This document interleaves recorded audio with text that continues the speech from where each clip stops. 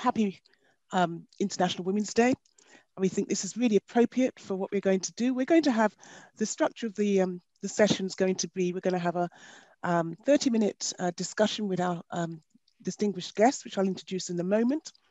And then we're going to have um, a response from a panel, which is myself, which is, uh, my name is Dr. Victoria Showunmi, and my colleague, which is Dr. Pontso Moorosi. I hope I pronounced that right, but I'm sure she'll correct me when she introduces herself in a moment. Um, so that's uh, Pontso, and then we'll go back to um, Charol, and then after that we'll have open up for discussion. Um, we will be able to do um, some question and answers, so please do prepare your questions as the time goes on as well.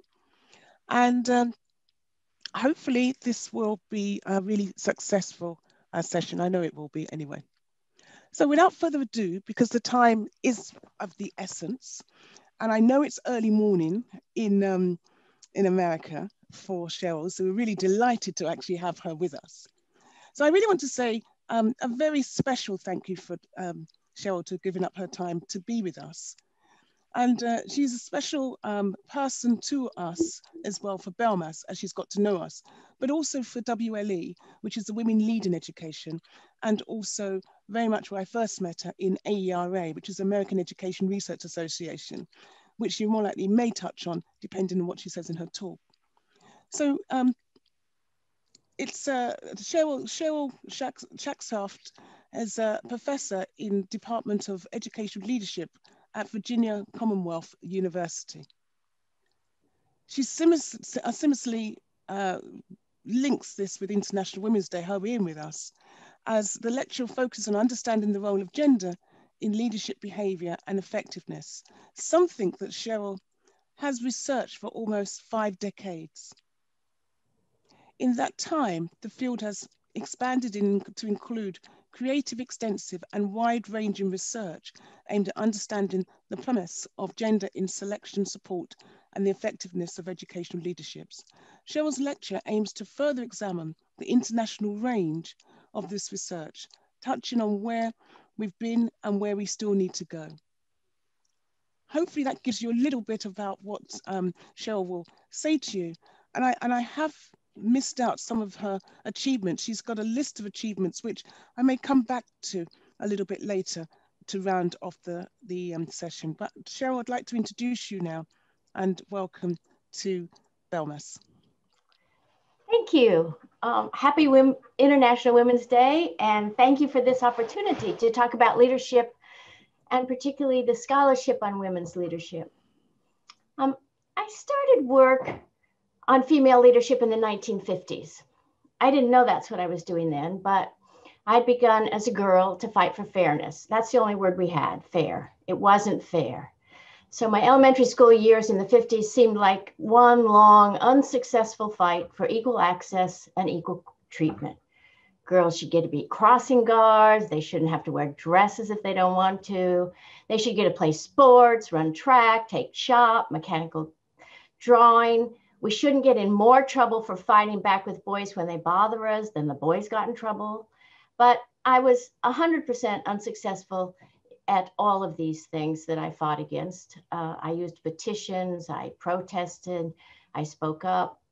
Um, I failed, but I didn't stop. Uh, so here I am, uh, at age 72, a white woman from the US uh, who formally started studying women's leadership in, in 1974. Uh, so I'm only at my 47th anniversary. BELMAS was already way underway when I started doing this. Uh, my approach, and I'm going to use my experience a little bit uh, to sort of take us through where we've gone and where I think we're going in the area of gender and women's leadership. Um, but uh, my, my, my approach has been research on women, on gender, um, for advocacy, for change, for transformation. And so personally, when I do work, I try to think, how could this be used? Uh, am I answering a question that is one that needs to be answered in order for us to move forward? Uh, and if so, how do I develop a, a, research agenda and a study that can speak to that so that the next group of people can take it and use it and move us forward. So I'm basing a lot of what I'm talking about from that perspective. Also from uh, you know a synthesis of research on gender over the past 50 years, and also on some new work that's coming out in, in the uh, Bloomsbury Handbook of Gender and Educational Leadership and Management, which is edited by our own Victoria Showunmi and Pontso Moorosi and Izhar Oplatka and me. So we started back then when I came into this research system with, um, with a question. Um, uh,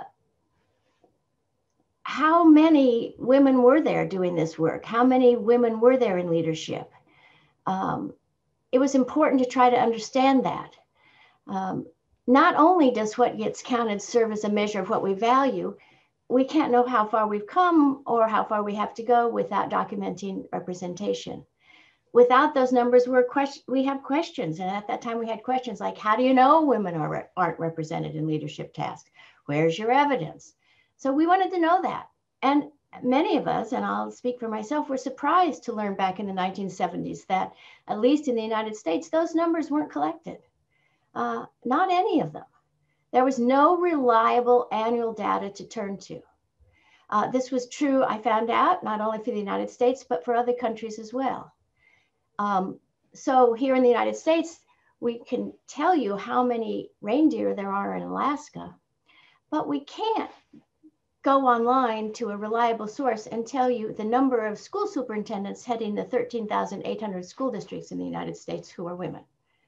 So the lack of documentation of numbers by gender and by race. Even when we started to get some gender numbers, they weren't broken down by race or ethnicity. So um, learning that women were minorities, were, were sort of a minority representation in school administration. Once we got started, started to get those numbers, well, that helped a little bit. We could make the argument that women weren't represented. But we then also had to make the argument that when we talked about representation, we weren't talking about 50% women. We were talking about representation based upon where the job pool came from where did the people who became school leaders come from?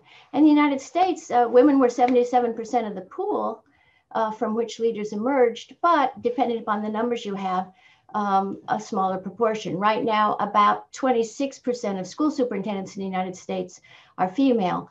Uh, people who would have come from that pool and moved up the line of 77% women. So that was the first thing how many, proportionality, and we're still working on that.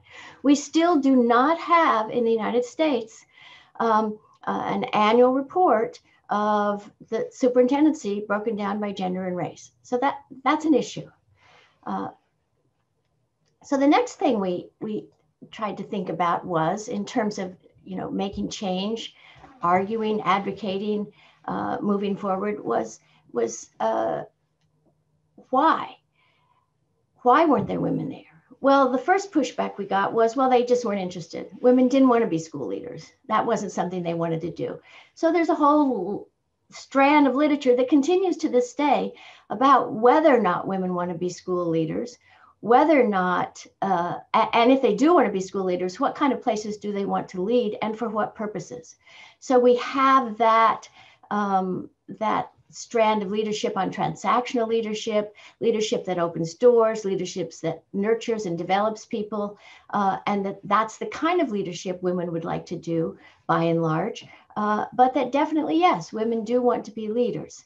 Um, so we've moved uh, through that. We were asking those questions 50 years ago. We're still asking those questions and trying to get a clearer understanding of what those issues would be. Um, so the next set of questions that we started to answer, address in the literature is, okay, well, they want to be there, but then why aren't they? Why aren't women in these positions? Uh, this, this question, of course, has prompted studies across countries, across continents, uh, and is still going on. Why aren't women there? And if you look at those studies, you, you see studies on internal barriers, external barriers, Um, we see studies on strategies to get more women in. We see studies on uh, on the kinds of things that need to happen, networking, support systems. Uh, but basically, um, all the studies kind of come down to that the masculinist, heteronormative, white culture of schools, male and white privilege, and all those assumptions surrounding male and white privilege um, are really the reason why women aren't there. It isn't that they don't want to be there, it's that there are barriers still, 2021, still regularly put up to keep women uh, out, and to uh, particularly to keep women of color out. So documented uh, documentation of the kind of discrimination women face is still happening. And then we're especially looking now at discrimination and intersectionality.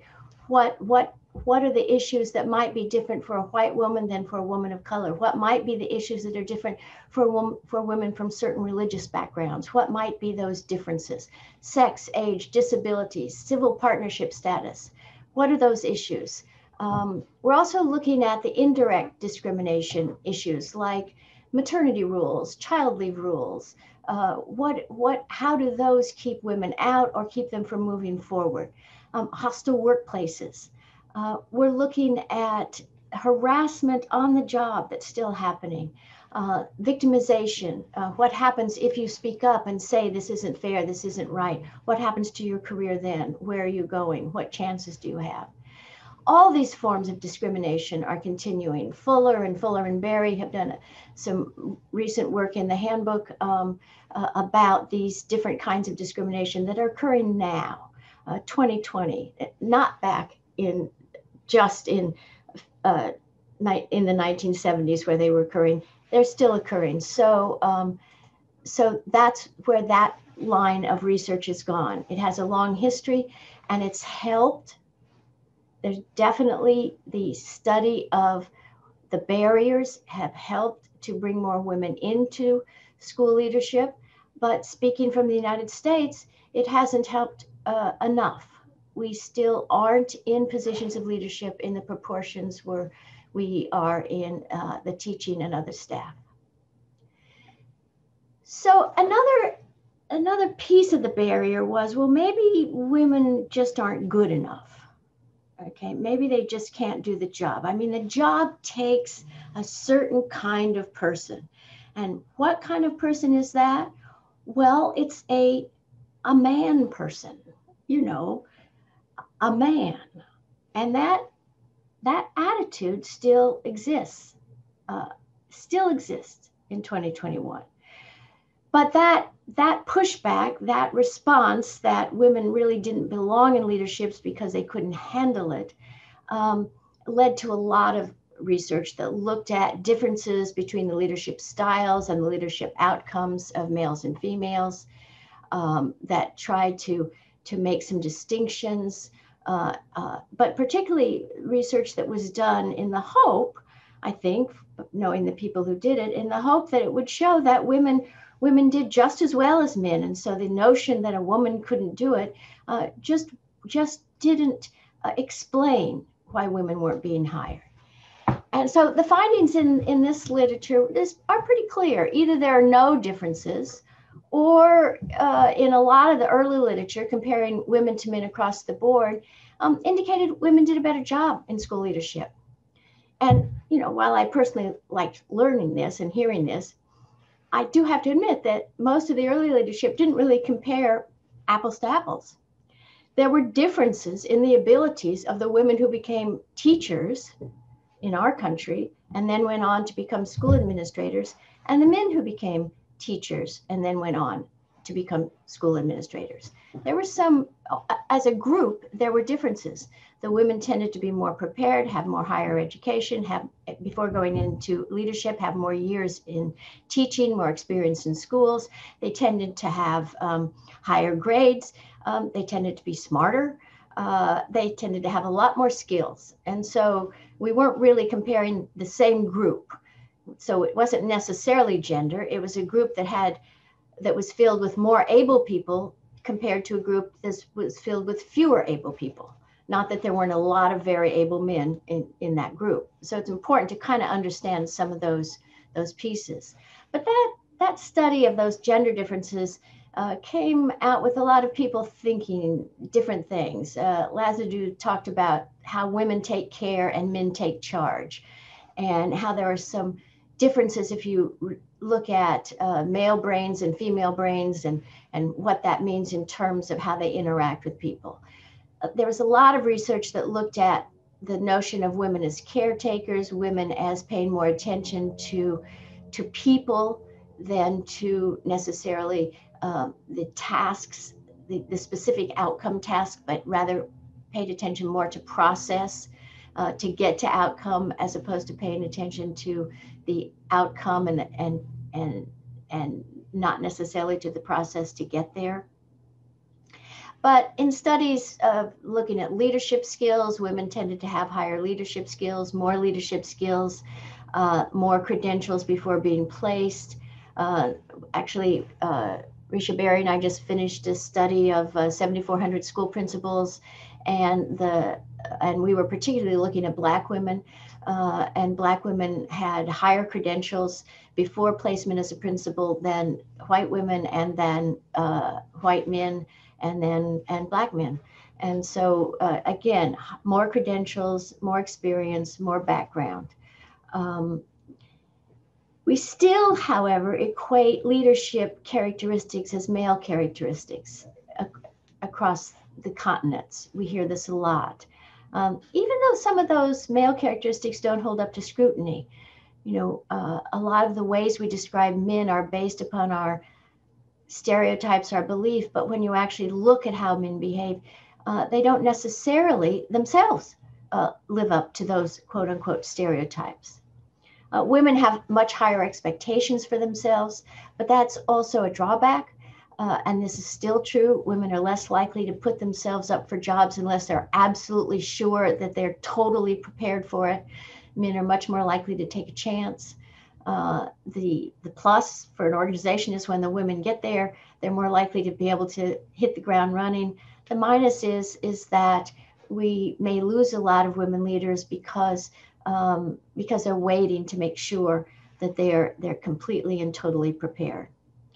Um, we also find some differences about what a fulfilling career will be and what it should be, and how they want to spend their lives in the job, in the school. Women tend to spend more time with people in the school, more time with kids, uh, more time interacting, uh, uh, more transparent and open communications uh, that have to do with things that they that that that they personally like. And basically, what happens when we get into a job is we tend to do the things that we're good at and the things we like, and then we delegate uh, the rest of it to other people. Uh, so if you think of it that way, um, we've always been delegating, uh, no matter where the job is. It's just that women delegate different things, in, according to the studies, than men do. So this whole this whole gender difference, male versus female, we're still studying these differences. Um, my question is, for what purpose? Uh, and and is gender really the um, the the important factor here? Why do we need to know if there are differences between men and women? I know why we needed to know it in the 1970s and the 1980s. Do we still have those same reasons? And so, for me, thinking about doing research for action and transformation, uh, that's a question I have. The next set of research was okay it, once women get the jobs what's it like? Uh, where are they? What do they do? And we have had progress. Across countries we've seen more women move into leadership positions but still not at the proportion uh, uh, as they are in teaching. So and and not even in equal proportions. Um, so some trends it's still the case that the older the student, the more likely men are in charge. That's we found that across uh, across countries. Um, it's still the case that the more prestigious the school, the more men are in charge across countries. Um, the more precarious dangerous failing the school is, the more, or the school district, the more likely women are in charge. Um, several studies uh, looked at, at, where women are appointed, and they're more likely to be appointed to difficult positions or placed into impossible leadership positions. Uh, uh, and compared to white women, minority ethnic women experience these ba uh, barriers more. Victoria's done that work. A lot of people have looked at, at those differences. Essentially, what we hear is that uh, if a school is really failing, if people have given up, there are two responses. One is, well, why don't we hire a woman? It can't hurt. You know, she can't do any worse than the other. Or, okay, it's gotten really bad. We need a woman to come in here and clean this up. But what the result is, is that women work in schools that, that present many, many more and higher and challenges than do men. Um, uh, we women are in more likely to be in, still in acting positions, not the permanent position. A woman often gets hired into an acting position, but doesn't get hired for the permanent position. She's the placeholder. Uh, we still have pay gaps across across countries, pay gaps between men and women, even in countries where equal pay uh, is the is the norm. There are ways that um, that uh, women are paid less. And women still work in masculinist work cultures, uh, cultures that protect a male career model, cultures that are easier to access and for men than for women, uh, cultures that uh, breed discrimination, uh, cultures that set up discriminatory practices that may not be conscious discriminatory practices, but that are there, the timing of meetings. Uh, look what's happened during COVID. Uh, it's the women teachers and the women administrators, particularly those with children, who have had the most uh, uh difficult times balancing and doing quote unquote everything. Issues of maternity leave and childcare leave. These are just, these are still uh, uh, things that haven't been successfully addressed in most countries. So women are getting jobs. More women are getting jobs than used to get jobs, but they're not necessarily getting the quote unquote best jobs. Uh, and uh, on the other hand, they are getting jobs where they can help the the student who students who have the most needs and who may need the most help and support. So I'm looking at where we are now and kind of trying to think about where where where is our research going? What are we what in the last five years, what what have we as a field in terms of gender and leadership been working the most on? Um, one, of course, has to do with intersectionality and the the multiple roles that we play and the multiple people we are. Um, and that there, there are many ways to be isolated and oppressed uh, oppressions work together in producing injustice. Uh, intersectionality is about these oppressions and, the, and about the frameworks uh, to be able to analyze the power relationships within organizations and how they uh, how they determine what we can and can't do. Um, the work that we've done to disrupt this unidimensional understanding of organizations and leadership has been slow uh, first into the water, we stuck our gender toe, and then we took the other foot and stuck the race toe, but took the gender toe out. And then we took both feet out and put in the culture arm. And then we put, took everything out and put in the gender sexual identification arm. Uh, we need to just jump into the water and to try to pull all those pieces together uh, a full body swim to look at identity, cultural perspectives, gender, race, religion. How do all of those identifiers and identities uh, have an impact on how we lead and whether or not we're allowed to lead? Um, there's some concern that there's been a whitening of intersectionality uh, and that we need to pay attention to that uh, and that we need to keep our focus uh, on women of color, and I certainly agree with that. But, it, but in addition, I also think we need to look at the other ways in which people are oppressed and how those intersect with our gender, with our race. Um, we also need to understand how, I, I think, how LGBTQ plus identification uh, plays a role. Um, how does it play a role in a person's life? Uh, what do you have to do in terms of your own life and your own identity? What do you have to cover up, hide, not not fulfill in order to get a leadership position? Uh, there isn't a lot of available research on this. There's some.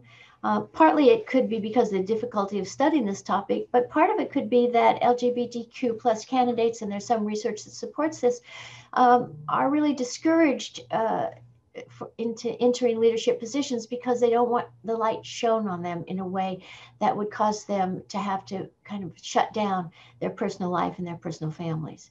So these are important pieces of this idea about intersectionality. Another area that we're doing work on is the emotional work of oppression. What happens to people who are oppressed? What happens to people who are discriminated? What happens to their health? Uh, what uh, what you know what happens to their families what happens uh, what what is what are those health considerations? Uh, what are those uh, um, emotional considerations uh, that go on? Uh, and and we haven't done a lot of work on that in terms of schools. Um, we're still working on the ideas of masculine and feminine. Are are those dichotomies useful? Are they helpful? Uh, when we think about the, these things, I don't think we question enough how emotions and insecurity may guide leadership practices. Um, think about what it takes to give others credit, to take a back seat, to not be the center of glory. Um, these are emotional, psychological, and ethical traits. Uh, why are women more able to share the limelight than men? Um, why are women not as threatened by including others in the glory? Uh, are these just learned traits? Are these things we can change? Are men more insecure? Have women just been socialized to share and to downplay their own their own parts in things? Is one sex greedier than the other? I mean, these are issues that have to do with styles of leadership and the issues about personal insecurity and leadership all too often invade uh, the workplace. Uh, uh, for those of you who've who've had an insecure administrator, uh, you know how that works. Um, so the other questions are, does a focus on the ethic of care become something else at some point? Uh, Wilkinson and McDonald talked about in Australia the highly gendered notion of caring leadership uh, potentially positioning students and community as uh, endlessly grateful recipients of Anglo-centric middle-class female largesse. You know, uh, is there some of that in there? Uh, where is the line between white female savior and a dedicated uh, educator? Where is the line between helping and a deficit view of communities? And so looking at the, the complexity of those choices and those ways of, of leading, which have often been associated with females. Another area that we're working on and that needs a lot of work is discriminatory complicit school cultures. You know, what I want to say is work on the individual, interesting as it is, uh, or change for one individual isn't going to help uh, change those school cultures. We need to do that individual work, but we also need to look at how a school culture becomes discriminatory. How do we call it out? How do we make that change? Um, uh, uh how do we how do we make organizations supportive of gender, supportive of race, supportive of, of all the students and all the staff. How do we make that happen? How do we do those transformations? We need to look at the fluidity of discrimination over time. How does discrimination work over time? Uh, we studies of women find that for a lot of women, uh, especially white women, uh, especially white women, they come to consciousness about workplace discrimination during pregnancy or maternity up until then, they haven't thought about it much. They haven't thought that this might happen to them. but suddenly they discover discrimination when they have children. Not only discrimination that has to do with their own children, but how they're discriminated against as a female and as a parent. Uh, and so looking at those kinds of issues would be important. Looking at Black women's leadership skills and practices, uh, the community cultural wealth that Yosso talked about.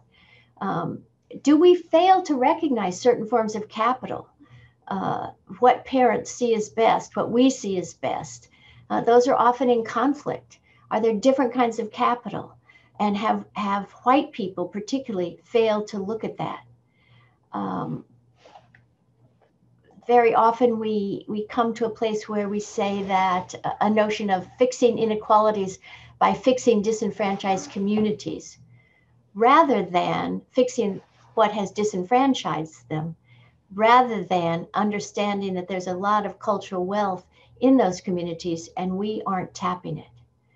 Um, I, I uh, Portia Newman uh, is currently working on some really interesting research in that area looking at Black women's uh, cultural wealth and how that's used and how that adds to this larger i was going to say toolbox but i then i decided i should say sewing kit but i'm i can't decide uh, uh, what kind of language i want to use but the idea that um, that there's uh, there are a lot of behaviors and skills that as cultures we have coded as deficits but they are actually cultural wealth and they inform leadership. They add aspirational, familial, social, navigational, resistant, and linguistic capital to those people who have those skills.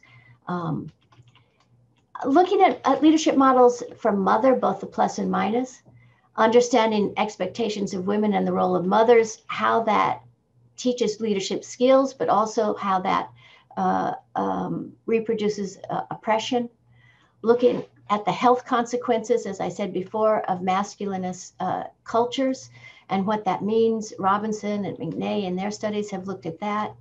And then looking at motivation and aspiration. You know, uh, many women report they don't necessarily see leadership as associated with everyday practices and personal lives. They may do in tons of leadership, but they're not necessarily coding it as leadership. And looking at what is it that women aspire to be and are the organizations that women might lead, these educational organizations that women like, might lead, do they actually offer those opportunities for transformation of the organization, for support? Um, uh, studies have found that women see promotion opportunities as an intensification of labor. What they see is that I'm going to have to work more and maybe work on things I don't care about.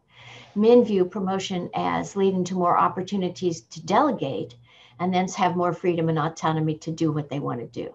So even understanding what uh, what movement through and up the system means. So those are some of the things that I've thought about as I've gone back and looked at the last 50 years of research and where we are and where we're going. Um, I, wanted to sort of do this overview uh, so that we could then have this conversation uh, uh, that um, amongst three of us and the group uh, to, to move forward. So I think I'm going to stop. Uh, I was going to talk about 30 minutes, and I think I did. Uh, so I'm stopping. Thank you very much, Shell. That was really delightful. I really appreciate that. And I'm sure that um, the uh, our participants, our audience would also be um, really, really happy about that as well. Um, I, I just, there was a whole range of different things which um, you've mentioned, and I'm sure that uh, Pontso and I have got some things we'd like to um, ask you um, about within the time we've got as well. But, uh, you know, I, would like to kick off if I may. Pontso, please do come on, put your camera on so we can actually involve you in the conversation as well that's that's really important.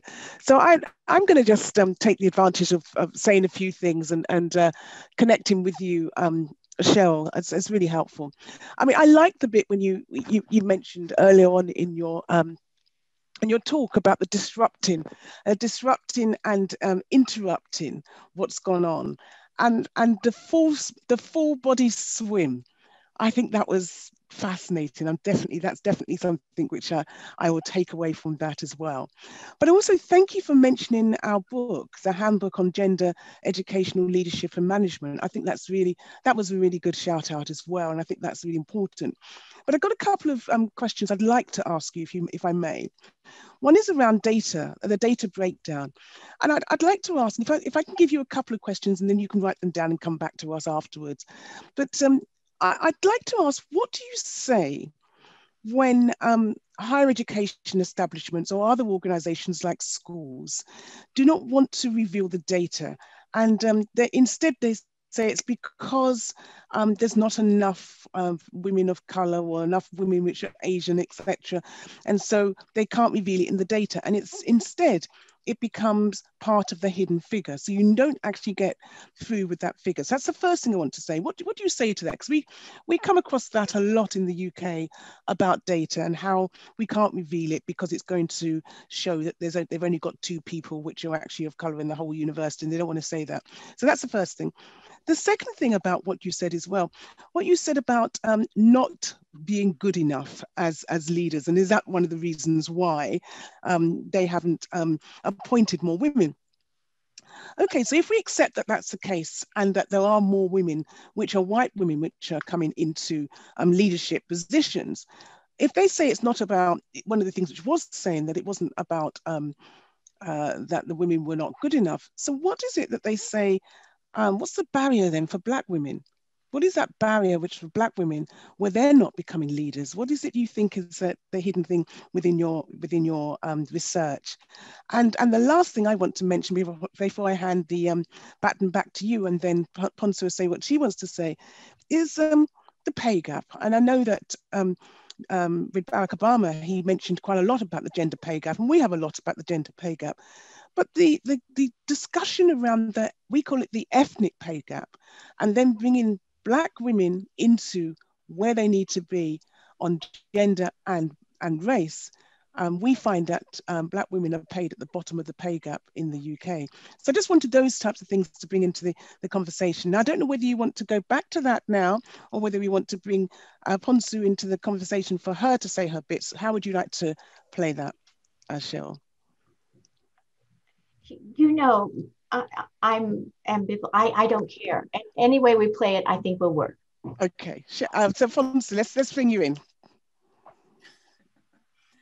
Right. Um, thank you, Victoria, and thank you very much, um, Charol, uh, for that um, talk. Um, it's not every day that um, you have um, somebody who's been studying the field for five decades in the room, in the virtual room. Uh, so this really is a privilege. Um, I've had this uh, privilege uh, working with you lately on the book, and uh, it's it's been great. Um, when I started my own PhD 20 years ago, um, yes, scary, 20 years ago. Um, Charol Shakeshaft was the name, um, um, and others. but but and so I could identify with um, um, many things that you were saying that I've seen in my two decades of research in this field. Um, uh, the, the, the underrepresentation, which I, I insist is the question that um, gets us going all the time. It doesn't really matter from which angle you are studying this. What really uh, drives us uh, is the fact that um, there still aren't um, um, enough women representing um, um, other women in, in positions of leadership. So we could turn the question upside down. We could use different methodologies. We could um, um, jump into the water. I like that too, Victoria. Uh, jump into the water and pull every uh, thing that we have. The primary question that is really driving us is that we don't um, have enough women representing women in positions of leadership. And so the question is, um, if one day we wake up and we have uh, these women um, representing us and we feel comfortable with that, are we going to stop? Um, uh, perhaps not. And, and one of the um, um uh, issues I think uh, I have that um, I could just add maybe to, to what you said is um, my observation, and I think um, the observation of uh, many other people in the field, I see from people who have been feeding into the chat. Uh, it's colleagues of ours who um, have been in the field uh, for decades. Um, and, and so the, the observation is that it's us doing this work, it's, it's women doing this work and about women. Uh, so when we talk about uh, the dichotomy um, of, of, looking at gender as um, a dichotomized concept um, and looking at uh, femininity and masculinity um, and looking at differences between men and women, and that's how we've been um, studying the field. But then the question becomes, how do we how do we move beyond that? How do we move beyond that and and get um, other people involved? How do we get uh, men involved uh, in this research? And um, uh, we probably um, um, have an assumption, or we do know from some studies that would suggest that um, if um, this was a men's problem, something would have been done about it um, some some time back. So how do we how do we bring that lot on board and and, and just maybe uh, get to to hear them? And the, the final uh, thing that I'll say is that and I think this probably happens with uh, many of my colleagues as well, that um, our students come because maybe they will see your work um, and now they probably will come they, they will see they see your work they see my work they see the work of other people that i know that i've um, written co-written with. And they want to study um, uh, the whole notion of women in leadership. But they feel like the questions have been there forever. And this is what you also say in your talk, Charol, that we're still asking the same questions that um, you were asking when you started 50, um, 50 years or 47 years ago. And, um, and so the question is, how do we get motivated to do this work?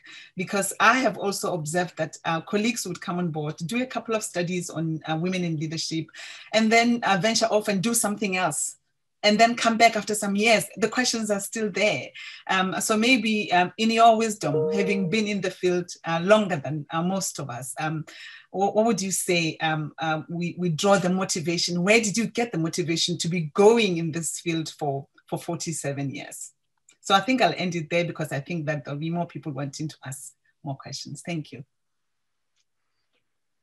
Well, maybe I'll start backwards. Um, I get my motivation from my students uh, for a number of reasons. First, I see these really capable people who aren't getting jobs that they deserve. And I see really capable people doing really interesting work. My students have done over the years incredibly interesting work around these issues. And almost all of it focused on expanding our knowledge but expanding in ways that people could use this knowledge to fight for more equal representation, to fight for laws uh, that would help us. Um, and so, um, uh, did I think that nearly 50 years later, when I started this work, uh, we would still be dealing with these issues? No, I, I didn't. Uh, I actually didn't but we are.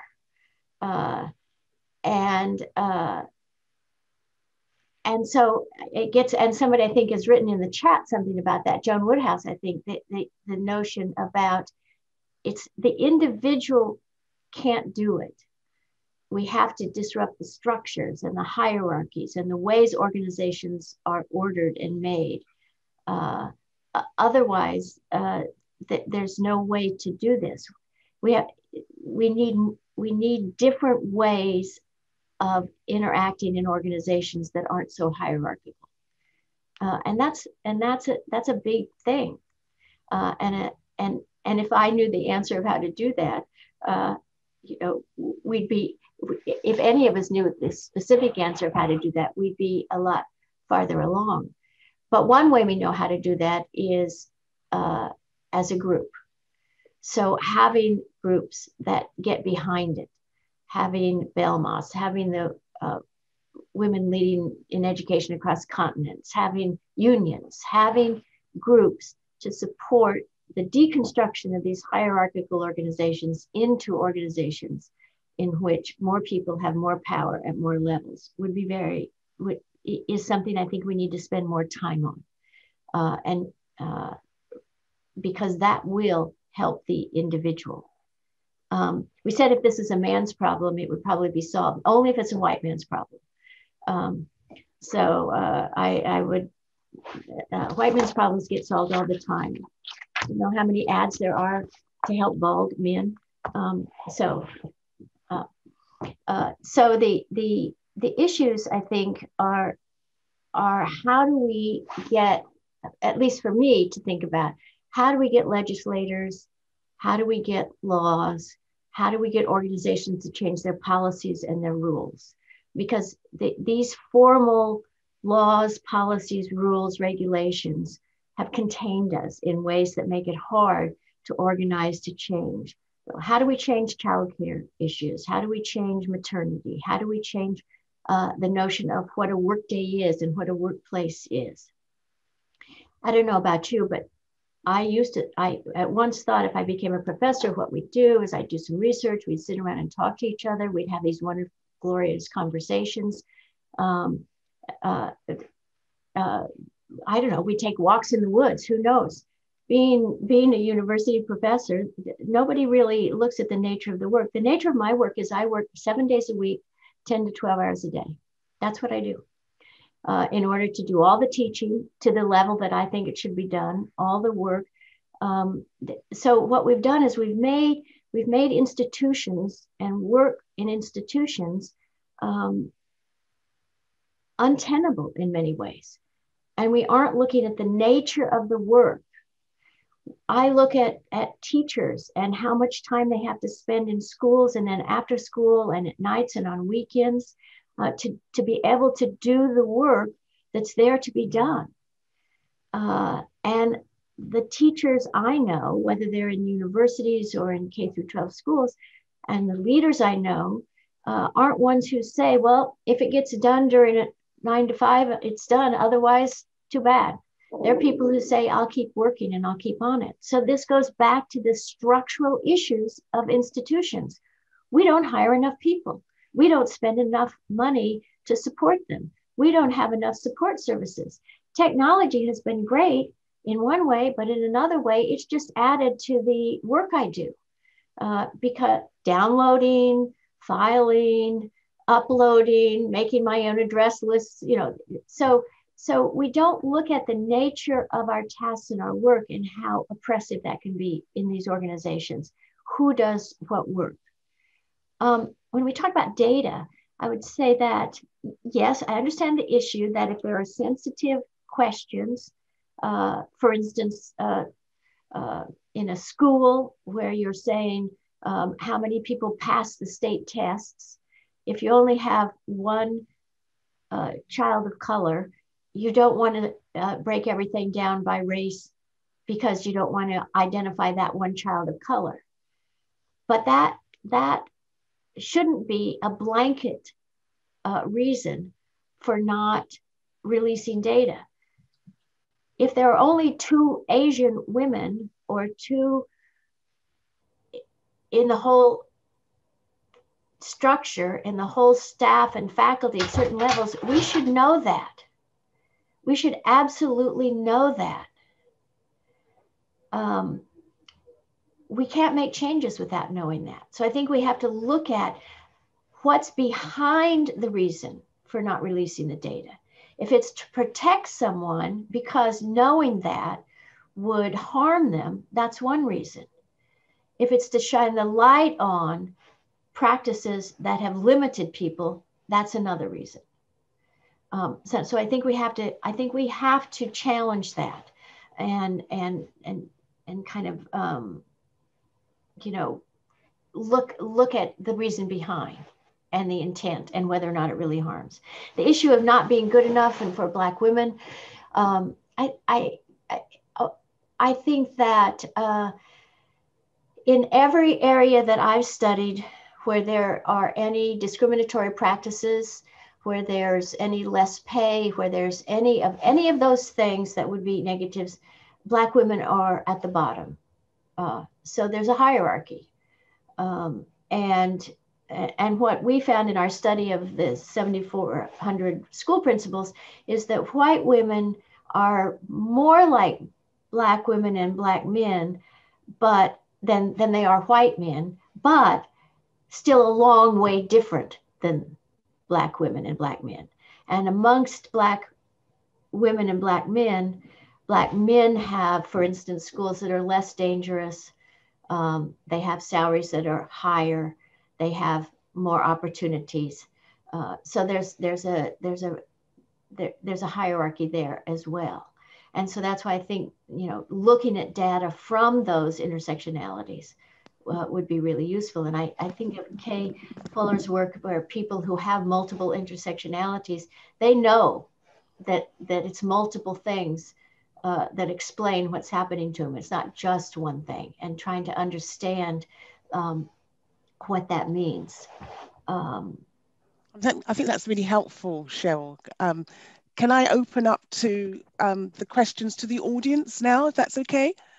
Yeah, so I've, we've got some questions here. Now, between myself and Pontso, we're going to try and manage the, um, the, the, the, different questions which are coming out. So um, what we'll do, uh, Charol, so um, we'll manage that and pass them on to you. And if we do them in, if we get enough, about three at a time, we'll give you three at a time, and then we'll move on to the next ones when you feel, and just look up when you think you're, you're ready to kind of pass on. So we've got, um, Pontso, do you want to do, there's a couple there on the chat. There was one for Ian, I think, which has mentioned one. Yeah, uh, there's there's one for Ian, um, and there's an, an earlier one from uh, Joan Woodhouse. I don't know if um, it was just a comment, but I think um, it, it's a comment that could uh, be responded to because um, the point she's making is maybe we need to be asking different questions, um, and and and so and, and she just probably a question as well yeah. Um, and so maybe that's something that could be responded to. And and the question for from um, Ian. Um, uh, it's about how can the society, how can Belmas disrupt things? And I think um, I think uh, Ian and and, and um, members in the audience would really love to hear um, Charol's response to that. And we've got one other one as well. We've got the Q and A, which is from Jim Perkins. Um, he wants to know about does the research give statistics on percentage of those women who successfully turn around those systems. So that's another one as well. So we'll, we'll give you those three and then we can um, go on to the next one. Thanks, yeah. Charol. Well, let me start from, from the uh, notion of do, do women turn around the systems? Yes, there are some, not necessarily the statistics, but there are a number of studies about women who actually have turned around systems and being successful at doing that, but also the price they had to pay to do that and the resistance they had to meet to do that. So they made inroads, but not without sacrifice to, of themselves and of, of, their, uh, of their health and of their energies. Um, uh, Kerry Robinson did a study of uh, women superintendents and looked at superintendents who'd been success, who'd retired and why they retired. Uh, and many of them had fought the good battle and made the changes and everything, but the personal price was finally more than they could deal with. The behind the scenes discrimination, uh, hostility, toxicity uh, moved them out. Uh, and we don't see that because people keep quiet about it. We keep quiet about toxic organizations we just say, maybe I'll go someplace else and it would be better rather than really calling out the toxicity. Um, I, I don't know how Belmas can disrupt. Uh, I, I think that organizations can disrupt though by changing the focus of the kind of research that we encourage by uh, by providing a lot of uh, support for for learning about our own uh, biases by supporting things like uh, equity audits to have institutions do equity audits of their practices, their policies, their outcomes, so that we can look at our own institution and say, um, gee, you know, I thought we were pretty good, but look here, these kids as a group uh, aren't getting the same kinds of supports as these kids. And the, we've seen more more black women leave the jobs than other people. Why is that? And so equity audits and, and a, an organization that supports that for organizations, including universities, I think really help because most of the time, this goes to implicit bias. Uh, so we learn about our own implicit bias, we learn how to respond to it, but organizations have implicit bias. And so equity audits help organizations identify where this implicit bias may be showing up in terms of who gets employed, who leaves, who stays, uh, what services go to what people. Um, we keep our salaries hidden. You know, we don't let people know what we earn, uh, and um, and I think that's I think that's that's that's not good. In the United States, if it's a if it's a higher ed institution that's a public institution, in some states that information is available, not in all states uh, I think it's important uh, to talk about what we earn and, and how we are, are compensated. Uh, we don't know that. Um, so organizations that help us do that, it seems to me, um, could be very, uh, uh, uh, it could be very useful. Um, and then, and then really, how do we pr provide supports for people in these toxic organizations? What tends to happen is, in my experience, is we don't want to be close to the person who's been who's being targeted in a way. Part of us wants to pull back because we're afraid it's catching. We're afraid we'll get it. We'll next be the next person to be targeted. Um, so that person doesn't get the support and aid that they need. We're afraid to come out and just say we support you or this isn't right. Or um, and so uh, silent things happen. People leave our faculties uh, and we know that they've been driven out and we don't speak up or we don't say that's wrong. We can't have this happening. So more of us speaking up and providing the individual not just private support we often do it privately but we don't do it publicly. So they don't get that public affirmation and support um, in institutions where in higher ed institutions um, uh, students have no idea uh, that somebody they think is the best professor they ever had is being driven out of the of the institution. Uh, students should have a say in that.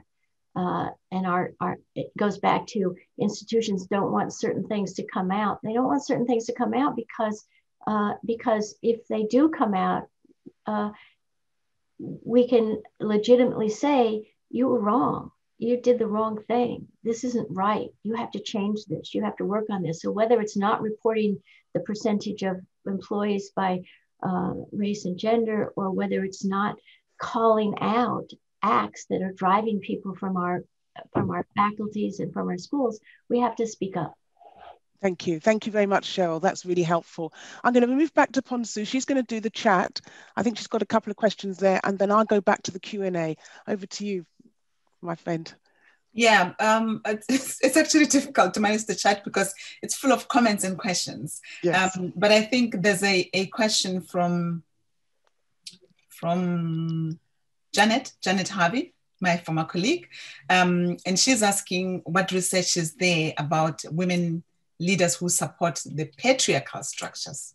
Mm, that's interesting. Okay. Um, and there's another one, I think if I can pull three, um, from Margaret Turnbull, who asks, um, how can we get women to empower women to recognize their skills instead of deferring?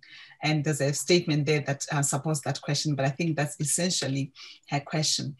And then um, I think the last one uh, that I can pull out from this side of things is from um, Mary Kunin. Um, Mary is asking, uh, when we talk about when we talk about we can do, I'm sorry, Mary. Um, let me let me run to the question. Uh, do we need a perspective um, and input of those that uh, do belong, um, which is the main, or uh, if so, how that is a shift?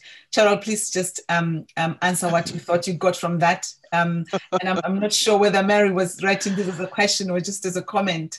Um, but those those were the the two uh, and three uh, that I pulled out. There's and more. If, There's yeah. more. I'm worried that time is running out. Yeah, and if Mary wanted to uh, unmute, and if we've misrepresented her, she can always unmute. Okay, um, Charol, we've got. If you can give three minutes on those ones, and then I'm going to give you some more. We've got so we've got a bit. We're okay for time. Right. So I think every time you can nominate a woman for something, nominate her. Every time you can give her an award, give it to her. It's important. I, I know it sounds silly, but it's really important. Uh, women won't nominate themselves, so we, we had to do it. Spend uh, five minutes a day uh, sending affirmations to people. I try to to every day send something to somebody who's doing something good, just uh, just to reinforce that somebody out there sees the good you do. And these are almost always women. I send these to because um, they don't hear it enough. They don't hear that enough. Um, so uh, women, yes, we ha- we have women who support the patriarchal structure. Um, I ignore them. Uh, uh, meaning that I have only so much energy and I'm not going to fight with another woman. Um, uh, so, uh, so that's what I do. I'm not saying that's the right thing to do. I'm just saying that that I'm going to take my fights where where I can, and and I and I, I I don't feel like tearing down another woman, even though she needs to be torn down. It's just not the work I want to do. Um, uh, and someone said it's hard to ignore the woman if she's your boss. Um, I can speak to that personally. Yes, I understand that. Uh, but and you stand up to the women. Okay, I'm not saying you ignore them with that and don't push back. Yes, you push back, but uh, so often um, I find myself being uh, people trying to persuade me to move against in a movement against a particular woman uh, for whatever reasons and and that may be it may need to happen it's just not something that i'm going to do uh, either i'll go to the woman directly and say what i have to say uh, but where my energies go maybe some other place. Um, i just think women don't get enough support. There are some who may never appreciate the support they get. Um, and uh, following the patriarchal rules has been successful for some women. However uh, there have been studies about those patriarchal women followers and it turns out that they tend to come to a bad end, uh, all on their own. Uh, and so uh, they they think the patriarchy is going to support them. They think they'll be okay. They think they'll be uh, uh, uh, moved along and protected. But in the end, just like other women, they aren't. if they step out of line, if they step away from from the you know from the script, they aren't protected. They're thrown aside. Um, I think that's really interesting, actually, Charol, what you've just mentioned, because we could say the same thing. And I'm speaking for myself. Um, I, I, haven't discussed this with um, Pontso at all. So this is me speaking. I think we also have the same um, discussion um, around Black women as well. There was there were some women which look like us who who want to keep things as they are because they feel that they're benefiting from it. And so somebody who perhaps comes across as a little bit too loud or a little bit kind of outside the the the, the, the kind of concept which they feel they've survived or they've progressed in and then somebody else comes along which is black and a black woman which puts it all into jeopardy they also want to keep their head down and think no no no we we, we can't we can't um, support that person so uh, when you're talking about women and you're talking about the patriarchal and some women want to keep that yeah we have that same discussion with black women, but people don't want to talk about it. It's, it's more like a hidden gem. Now, I'm very much, I don't want to take up the, the time, so I'm going to move on to some more questions, if I may, um, uh. I know we're moving you along a little bit, but I just wanted to put that out. We've still got a little bit time left, so that's really good. So we've got um, three people here. One's from Mary, Mary Bridget Burns, who says, you know, hello friends, um, how are we preparing teachers in training to advocate for themselves? Are we doing that formally or through informal network. She wants to know about teaching. Then I've got Kerry here, Jordan Daus, who's talking about intersectionality. And is it important to understand the complexity of lived lives? Should our research focus on our stories at individual level to challenge homogenizing narratives? That's, that's, a, that's an interesting one as well. And the final one is Tomika Ferguson, um, with the change that has occurred, how much research influence the policies to move the needle forward? Are there lessons we can take from the policies that have changed that we can continue forward? So there's three key questions there, if you don't mind, and then we go on to Pontso afterwards. So I think we'll have time for three more questions. Thanks, Charol. I would say about preparing teachers, I don't think we do enough to prepare teachers, at least in my understanding. And you all have your are in your own institution, so you know, but I don't think we've actually even looked into this enough. How do we prepare teachers to be active uh, participants in an organization, to speak up, uh, to be able to understand the politics of an organization? Um, and we don't. And I think that's that's a that's an important issue. I think we also don't uh, prepare teachers necessarily uh, about the ways in which they may uh, be the targets of discrimination on any number of their of their personal characteristics and what to do about it. So that area definitely, I believe, needs some work. Um, yes, I think it's important to study the lived lives and hear the stories of people. Um, uh, that's how we understand really the complexity of everything that's going on. So I, I hope people keep doing that work because it's such important work uh, to be able to understand uh, that. Um, I, I, I think that for policy, for po- my my experience in terms of policy change is, is that it's really three things. It's it's being able to get in touch with the right person uh, in who who either makes the policy, who makes the decision about the policy, uh, or uh, or the law, and it's providing them with two kinds of data. One is numbers. People use numbers. Numbers convince people, but stories then take you from that sounds like a good idea to um, to yes, let's do this. So it's my experience that you have to combine two kinds of, of information in terms of for policymaking. The, the stories of people are persuasive. And then and then legislators and others who make rules or policies uh, then fall back on the numbers uh, as a secondary support. So it's those two kinds of data I think are important. But first you have to figure out who's who are the people who who we need to talk to. And that's often the hardest for many of us because we don't know who they are.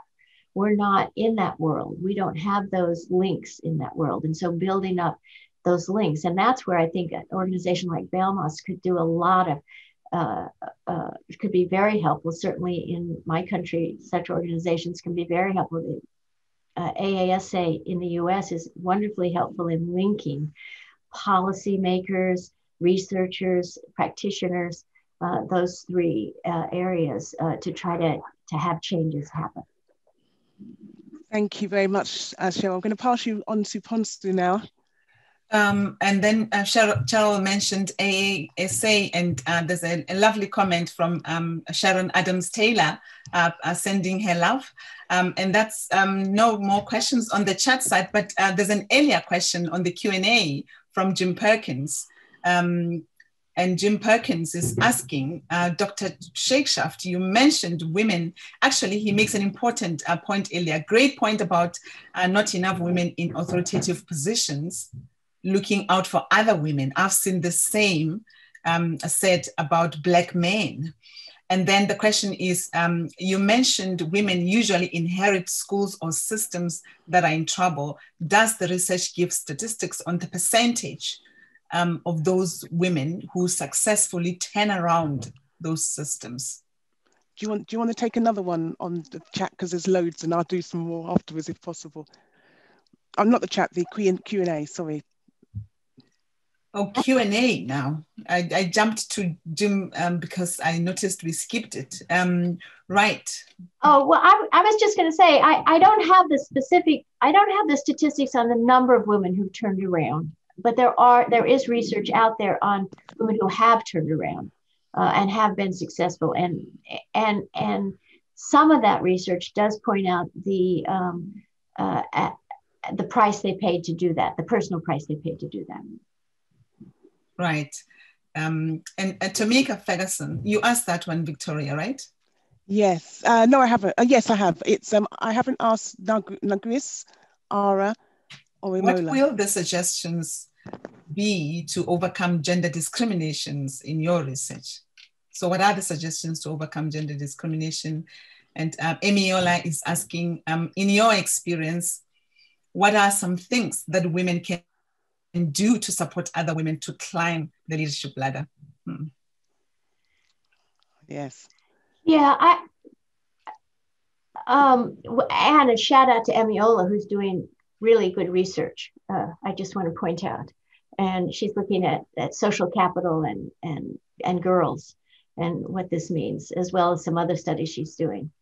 But she, points out there's not enough emphasis on there's so much emphasis on the person and not the act or the practice of being a leader, uh, and and I think that's important because we have we have when we talk about the practice of doing leadership we're, we often are really talking about the practice of doing management uh, in, in our courses in our training and that's different than doing leadership. And what i find is that women while they're fine at doing the management they want to do the leadership and so the questions are leadership for what what are you leading for can we have those conversations and how do you lead that way and the studies of women say that they tend to be leading for social justice. Uh, that's what they're looking at. They may not call it that. They may call it equality. They may call it opportunities. They may call it whatever. But there's a lot more talk about leadership amongst women than there is in the study that the studies show, and more talk about management among men about the tasks we do. So yes, we have to know all those management tasks. But if we're talking about leadership, then we have to talk about values and we have to talk about what we want to see changed and how we're going to do that and strategies for that. And I used to think in our leadership classes, you know, we should be teaching leadership about community organizing. You know, there's a whole curriculum about how to do community organizing, and you know, ask Barack Obama. Um, and, and you know, we don't teach that in our in our leadership courses. Uh, uh, uh, you know, uh, and so there's there's all kinds of things we, we can think about if we thought about what are the skills we need for leadership, for organizing people to move forward and make change. Those are often different than the skills we teach in our courses or our workshops or whatever that have to do with management.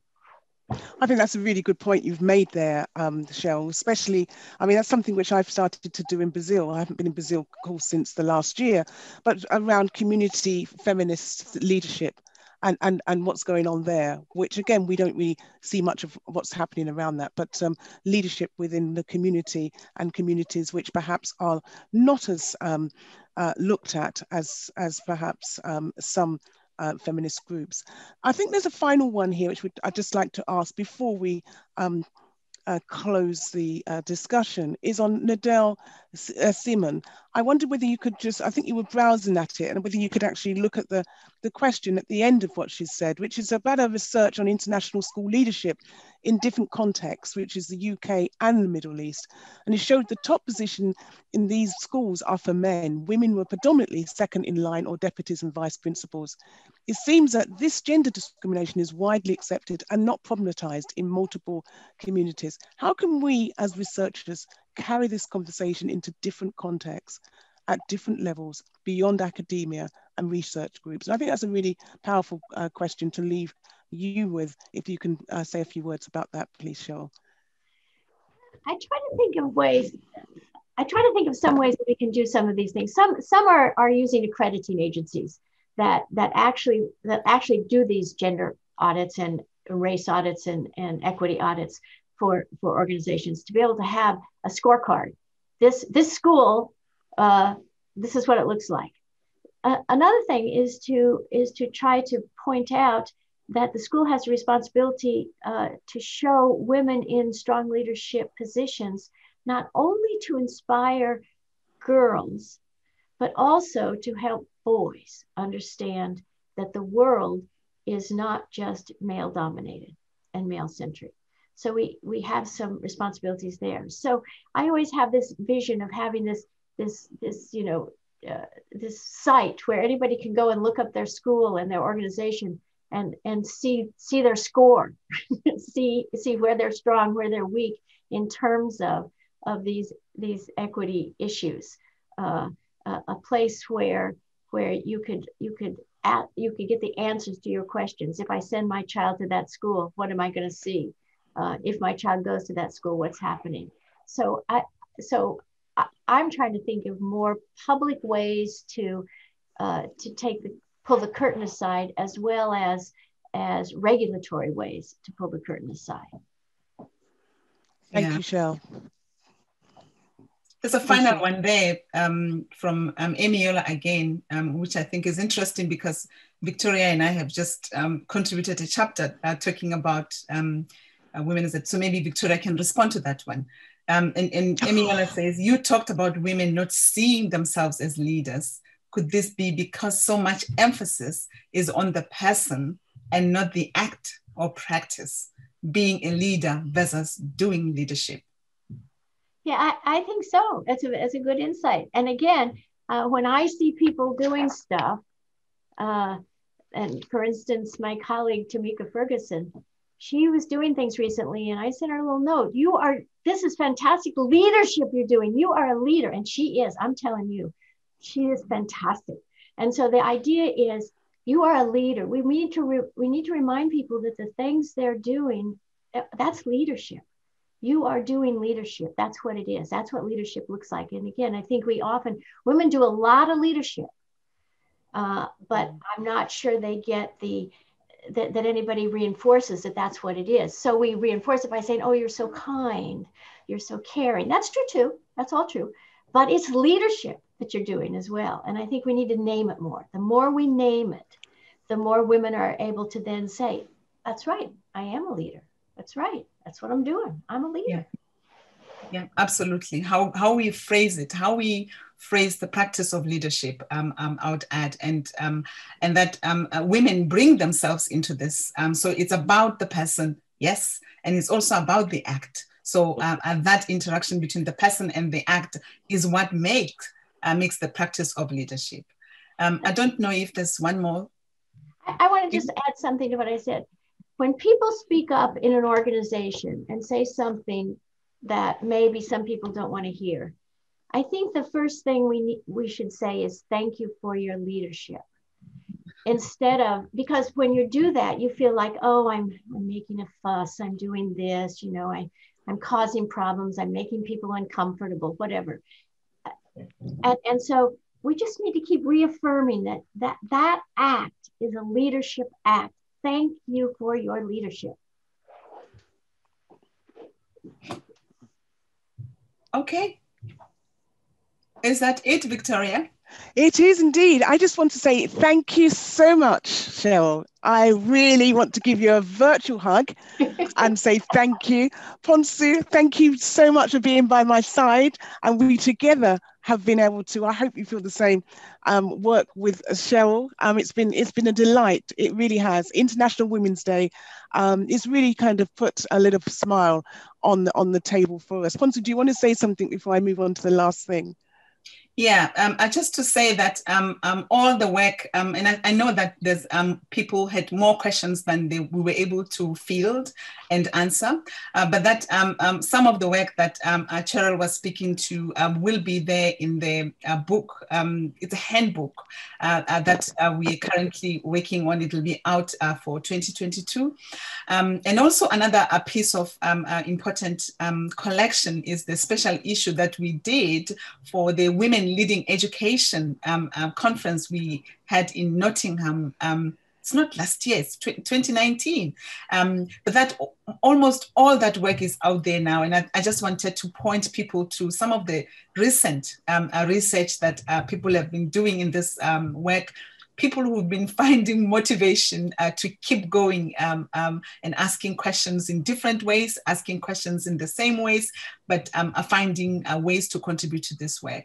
And, and really just to reiterate um, Victoria's thanks um, uh, to Charol that this has been um, a wonderful event and we really are grateful that uh, Charol was able to spend uh, International uh, Women's Day with us at BELMAS uh, celebrating its 50th uh, birthday um, and 50th anniversary. Um, anniversary. Yeah, anniversary. And um, just to uh, thank um, the the office, Richard. Uh, Richard is there behind that 50 years sign. Um, Richard, thank you very much uh, for putting uh, this together for us and uh, for being there. We knew that um, if things were to go wrong, you'd be behind us. And Kay Fuller has very kindly um, pasted the link to the Frontiers uh, special issue. So if um, some of you would want to check it out now. Thanks, Victoria. Thank you.